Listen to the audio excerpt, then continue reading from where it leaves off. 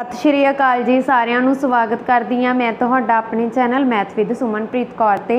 ਅੱਜ ਦੀ ਇਸ ਵੀਡੀਓ ਦੇ ਵਿੱਚ ਅਸੀਂ ਕਰਾਂਗੇ 6 ਅਕਤੂਬਰ 2021 ਦੇ ਇੰਪੋਰਟੈਂਟ ਕਰੰਟ ਅਫੇਅਰ ਦੇ ਕੁਐਸਚਨਸ ਜੇਕਰ ਤੁਸੀਂ ਕਿਸੇ ਵੀ ਗਵਰਨਮੈਂਟ ਪੇਪਰ ਦੀ ਤਿਆਰੀ ਕਰ ਰਹੇ ਹੋ, ਤਾਂ ਕਰੰਟ ਅਫੇਅਰ ਤੁਹਾਡੇ ਲਈ ਬਹੁਤ ਇੰਪੋਰਟੈਂਟ ਹੈ।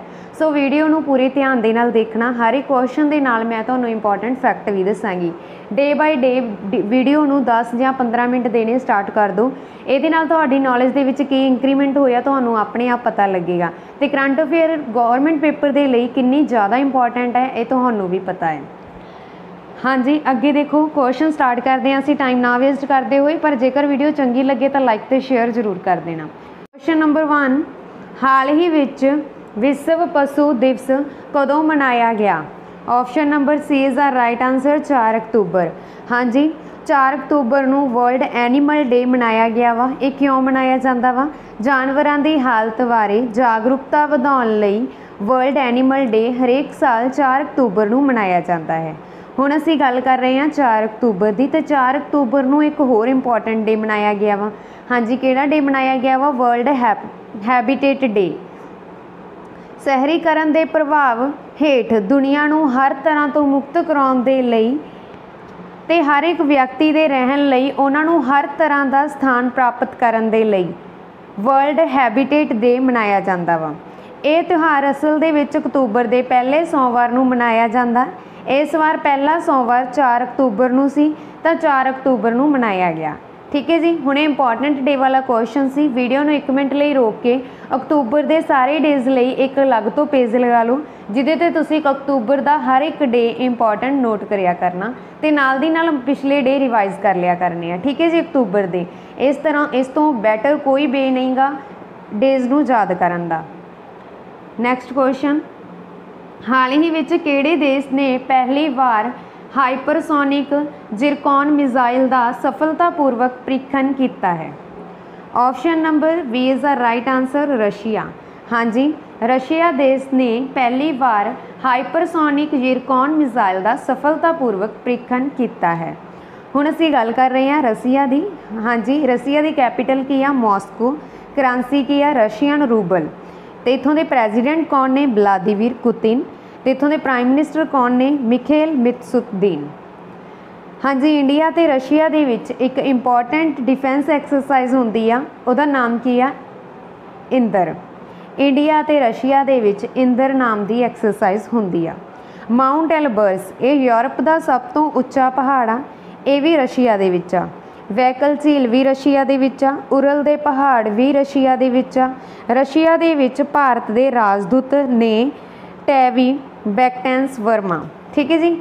ਇਸ ਤਰ੍ਹਾਂ ਕੁਐਸਚਨ ਆ ਸਕਦਾ ਕਿ ਭਾਰਤ ਦੇ ਕਿਹੜੇ ਰਾਜਦੂਤ ਰਸ਼ੀਆ ਵਿੱਚ ਨੇ? ਤਾਂ ਉਹ ਹੈਗੇ ਆ ਜੀ ਟੈਵੀ ਬੈਕਟੈਂਸ ਵਰਮਾ ਨੈਕਸਟ ਕੁਐਸਚਨ ਭਾਰਤ ਦੇ ਪਹਿਲੇ ਸਪੋਰਟਸ ਆਰਬਿਟ੍ਰੇਸ਼ਨ ਸੈਂਟਰ ਦਾ ਉਦਘਾਟਨ ਕਿਸ ਨੇ ਕੀਤਾ?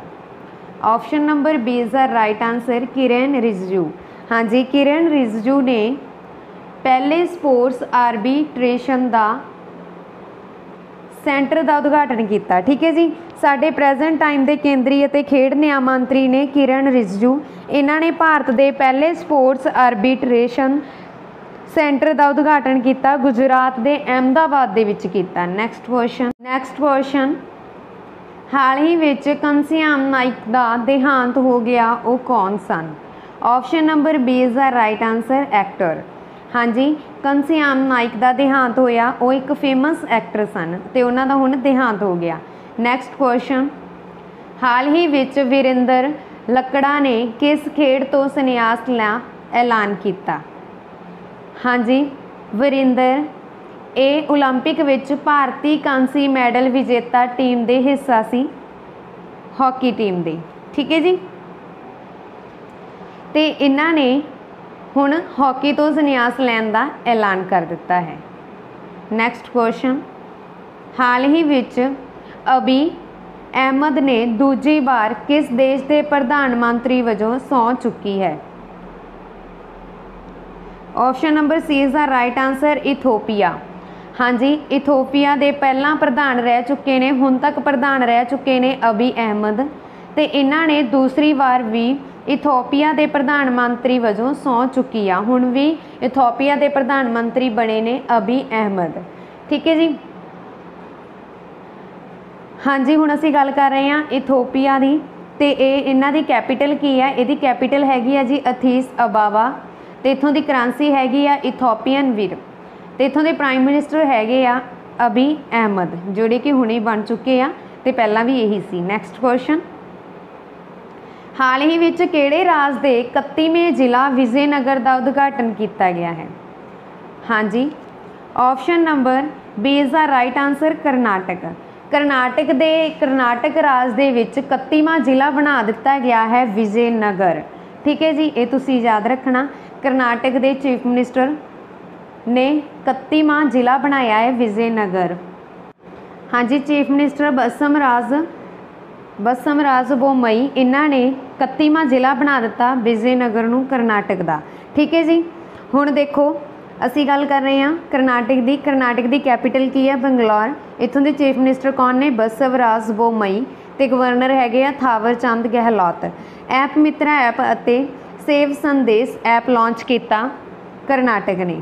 ਦੁਨੀਆ ਦਾ ਸਭ ਤੋਂ ਲੰਬਾ ਰੇਲਵੇ ਪਲੇਟਫਾਰਮ ਕਰਨਾਟਕ ਦੇ ਹੁਬਲੀ ਦੇ ਵਿੱਚ ਬਣਿਆ ਅਤੇ ਹੁਬਲੀ ਵਿੱਚ ਹੀ ਪਲਾਜ਼ਮਾ ਥੈਰੇਪੀ ਦੇ ਥਰੂ ਕਰੋਨਾ ਵਾਇਰਸ ਦਾ ਪਹਿਲਾ ਪੇਸ਼ੈਂਟ ਠੀਕ ਹੋਇਆ ਸੀ। ਕਰਨਾਟਕ ਦਾ ਇੱਕ ਪਿੰਡ ਹੈ ਮੰਟੂਰ। ਇਹ ਭਾਰਤ ਦਾ ਇੱਕੋ ਇੱਕ ਪਿੰਡ ਆ ਜਿੱਥੇ ਸੰਸਕ੍ਰਿਤ ਬੋਲੀ ਜਾਂਦੀ ਆ।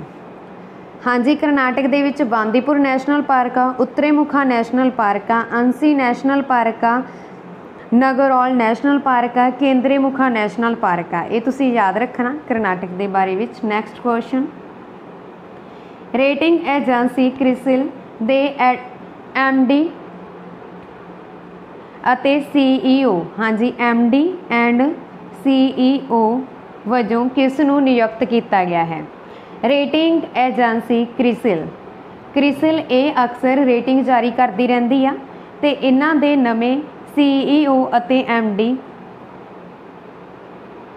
option number C is the right answer Amish Mehta ਨੂੰ ਨਿਯੁਕਤ ਕੀਤਾ ਗਿਆ ਹੈ। ਨੈਕਸਟ ਕੁਐਸਚਨ 40ਵਾਂ ਭਾਰਤੀ ਅੰਤਰਰਾਸ਼ਟਰੀ ਵਪਾਰ ਮੇਲਾ ਕਿੱਥੇ ਆਯੋਜਿਤ ਕੀਤਾ ਗਿਆ ਹੈ? Option number B is the right answer new Delhi ਹਾਂਜੀ, ਨਵੀਂ ਦਿੱਲੀ ਦੇ ਵਿੱਚ 40ਵਾਂ ਭਾਰਤੀ ਅੰਤਰਰਾਸ਼ਟਰੀ ਵਪਾਰ ਮੇਲਾ ਆਯੋਜਿਤ ਕੀਤਾ ਗਿਆ ਹੈ। ਨੈਕਸਟ ਕੁਐਸਚਨ ਕਿਹੜੇ ਰਾਜ ਵਿੱਚ ਸੜਕ ਦਾ ਨਾਮ ਆਜ਼ਾਦੀ ਘੁਲਾਟੀਏ ਤਿਰੁਪ, ਤਿਰੂਪਪੁਰ ਕੁਮਾਰਨ ਦੇ ਨਾਮ ਤੇ ਰੱਖਿਆ ਗਿਆ ਹੈ? Option number C is the right answer Tamil Nadu. ਹਾਂਜੀ, ਤਾਮਿਲਨਾਡੂ ਦੇ ਸੀਗੇ ਤਿਰੂਪਪੁਰ ਕੁਮਾਰਨ। ਤੇ ਇਹਨਾਂ ਦੇ ਨਾਮ ਤੇ ਹੁਣ ਤਾਮਿਲਨਾਡੂ ਦੇ chief minister M K Stalin ਨੇ ਇਹਨਾਂ ਦੇ ਨਾਮ ਤੇ ਇੱਕ ਰੋਡ ਦਾ, ਇੱਕ ਸੜਕ ਦਾ ਨਾਮ ਰੱਖਿਆ ਗਿਆ। ਠੀਕ ਹੈ ਜੀ? ਰੱਖਿਆ ਹੈ। ਤੇ ਹੁਣ ਦੇਖੋ ਤਾਮਿਲਨਾਡੂ ਦੀ ਗੱਲ ਕਰ ਰਹੇ ਹਾਂ ਅਸੀਂ। ਤਾਮਿਲਨਾਡੂ ਦੀ ਕੈਪੀਟਲ ਕੀ ਆ? ਚੇਨਈ। ਤੇ ਇਥੋਂ ਦੇ ਚੀਫ ਮਿਨਿਸਟਰ ਕੌਣ ਨੇ? M K Stalin. ਗਵਰਨਰ ਹੈਗੇ ਆ ਜੀ ਆਰ ਐਨ ਰਵੀ। ਤੇ ਇਹ ਪਹਿਲਾਂ ਨਾਗਾਲੈਂਡ ਦੇ ਗਵਰਨਰ ਸੀ। ਹੁਣ ਤੁਰੰਤ ਮਾਈਂਡ ਦੇ ਵਿੱਚ ਆ ਜਾਂਦਾ ਹੋਣਾ ਕਿ ਨਾਗਾਲੈਂਡ ਦੇ ਗਵਰਨਰ ਕੌਣ ਨੇ ਫਿਰ। ਨਾਗਾਲੈਂਡ ਦੇ ਗਵਰਨਰ ਹੈਗੇ ਆ ਜੀ ਅਸਾਮ ਦੇ ਜਿਹੜੇ ਗਵਰਨਰ ਸੀਗੇ, ਜਗਦੀਸ਼ ਮੁਖੀ, ਉਹਨਾਂ ਨੂੰ ਨਾਗਾਲੈਂਡ ਦੇ ਗਵਰਨਰ ਦਾ ਐਡੀਸ਼ਨਲ ਚਾਰਜ ਦਿੱਤਾ ਗਿਆ ਵਾ। ਤਾਮਿਲਨਾਡੂ ਦੇ ਵਿੱਚ ਅਨੁਸਦਾਨ ਦੀ ਸਥਾਪਨਾ ਕੀਤੀ ਗਈ ਆ। ਅਦੀਪੁਰਮ ਤਿਹਾਰ ਮਨਾਇਆ ਜਾਂਦਾ ਵਾ ਤਾਮਿਲਨਾਡੂ ਦੇ ਵਿੱਚ। ਕੋਵਿਡ ਸੰਬੰਧਿਤ ਵਾਰਡ ਸ਼ੁਰੂ ਹੋਈ ਸੀ ਤਾਮਿਲਨਾਡੂ ਦੇ ਵਿੱਚ। ਮਛਲੀ ਉਤਪਾਦਨ ਦੇ ਵਿੱਚ ਟੌਪ ਤੇ ਆ ਤਾਮਿਲਨਾਡੂ ਸੈਕਿੰਡ ਤੇ ਗੁਜਰਾਤ ਆ। ਅੰਗਦਾਨ ਦੇ ਮਾਮਲੇ ਵਿੱਚ ਟੌਪ ਤੇ ਆ ਤਾਮਿਲਨਾਡੂ। ਇਹਨਾਂ ਤੁਸੀਂ ਯਾਦ ਰੱਖਣਾ ਤਾਮਿਲਨਾਡੂ ਦੇ ਬਾਰੇ ਵਿੱਚ। ਨੈਕਸਟ ਕੁਐਸਚਨ ਸੁਦਰਸ਼ਨ ਭਾਰਤ ਪਰਿਕਰਮਾ ਨੂੰ ਕਿਸ ਨੇ ਹਰੀ ਝੰਡੀ ਦਿਖਾਈ? ਹਾਂਜੀ option number A B is a right answer Amit Shah ਹਾਂਜੀ, ਸਾਡੇ ਪ੍ਰੈਜ਼ੈਂਟ ਟਾਈਮ ਦੇ ਗ੍ਰਹਿ ਮੰਤਰੀ ਨੇ ਅਮਿਤ ਸ਼ਾਹ ਇਹਨਾਂ ਨੇ ਸੁਦਰਸ਼ਨ ਭਾਰਤ ਪਰਿਕਰਮਾ ਨੂੰ ਹਰੀ ਝੰਡੀ ਦਿਖਾਈ ਆ। ਸੁਦਰਸ਼ਨ ਭਾਰਤ ਪਰਿਕਰਮਾ ਜਾਨੀ ਕਿ ਐਨ ਐਸ ਜੀ ਇਹਦਾ ਮਤਲਬ ਆ ਨੈਸ਼ਨਲ ਸਿਕਿਉਰਿਟੀ ਗਾਰਡ ਦੀ ਇੱਕ ਕਾਰ ਰੈਲੀ ਸੀਗੀ ਨੈਸ਼ਨਲ ਸਿਕਿਉਰਿਟੀ ਗਾਰਡ ਦੀ ਤੇ ਇਸ ਨੂੰ ਹਰੀ ਝੰਡੀ ਦਿਖਾਈ ਨਵੀਂ ਦਿੱਲੀ ਦੇ ਵਿੱਚ ਲਾਲ ਕਿਲੇ ਤੋਂ ਅਮਿਤ ਸ਼ਾਹ ਨੇ। ਠੀਕ ਹੈ, ਇਹ ਤੁਸੀਂ ਯਾਦ ਰੱਖਣਾ। Next question crypto exchange CoinDCX ਦੁਆਰਾ ਕਿਸ ਨੂੰ ਬ੍ਰਾਂਡ ਬੇਸਡ ਨਿਯੁਕਤ ਕੀਤਾ ਗਿਆ? ਹਾਂਜੀ ਕ੍ਰਿਪਟੋ ਐਕਸਚੇਂਜ ਕੰਪਨੀ ਹੈ ਇਹ ਤੇ ਕੁਆਈਨ DCX ਠੀਕ ਹੈ ਕੁਆਈਨ DCX ਨੇ ਅਮਿਤਾਭ ਬੱਚਨ ਨੂੰ ਇਸ ਦਾ ਬ੍ਰਾਂਡ ਐਂਬੈਸਡਰ ਚੁਣਿਆ। ਕੁਆਇਨ ਡੀ ਸੀ ਐਕਸ ਠੀਕ ਹੈ, ਇਹ ਤੁਸੀਂ ਯਾਦ ਰੱਖਣਾ। ਕ੍ਰਿਪਟੋ ਐਕਸਚੇਂਜ ਕੰਪਨੀ ਆ ਤੇ ਸੀ ਐਕਸ ਨੇ ਅਮਿਤਾਭ ਬੱਚਨ ਨੂੰ ਇਸ ਦਾ ਬ੍ਰਾਂਡ ਐਂਬੈਸਡਰ ਚੁਣਿਆ। ਨੈਕਸਟ ਕੁਐਸਚਨ ਕ੍ਰੈਡਿਟਮੇਟ ਦੀ 100% ਮਾਲਕੀਅਤ ਕਿਸ ਨੇ ਹਾਸਲ ਕੀਤੀ? ਹਾਂਜੀ option number B is the right answer Paytm. Paytm ਨੇ ਕ੍ਰੈਡਿਟਮੇਟ ਦੀ 100% ਮਲਕੀਅਤ ਹਾਸਲ ਕੀਤੀ ਆ। ਹੁਣ ਅਸੀਂ ਗੱਲ ਕਰ ਰਹੇ ਹਾਂ Paytm ਦੀ। Paytm ਦੀ ਸਥਾਪਨਾ ਕਦੋਂ ਹੋਈ? 2010 ਦੇ ਵਿੱਚ ਤੇ ਇਹਦਾ ਹੈੱਡਕੁਆਟਰ ਕਿੱਥੇ ਆ? ਨੋਇਡਾ ਦੇ ਵਿੱਚ। ਹਾਂਜੀ, ਇਸ ਦੇ ਨਾਲ ਸਾਡੀ ਅੱਜ ਦੀ ਇਹ ਵੀਡੀਓ ਖਤਮ ਹੁੰਦੀ ਆ। ਤੇ ਇਹ ਵੀਡੀਓ ਤੁਹਾਨੂੰ ਕਿਸ ਤਰ੍ਹਾਂ ਦੀ ਲੱਗੀ? ਕਿਰਪਾ ਕਰਕੇ ਕਮੈਂਟ ਬਾਕਸ ਦੇ ਵਿੱਚ ਜ਼ਰੂਰ ਦੱਸਣਾ। ਜੇਕਰ ਵੀਡੀਓ ਚੰਗੀ ਲੱਗੀ ਹੋਵੇ ਤਾਂ ਪਲੀਜ਼ ਲਾਈਕ ਤੇ ਸ਼ੇਅਰ ਜ਼ਰੂਰ ਕਰ ਦੇਣਾ। ਧੰਨਵਾਦ ਜੀ।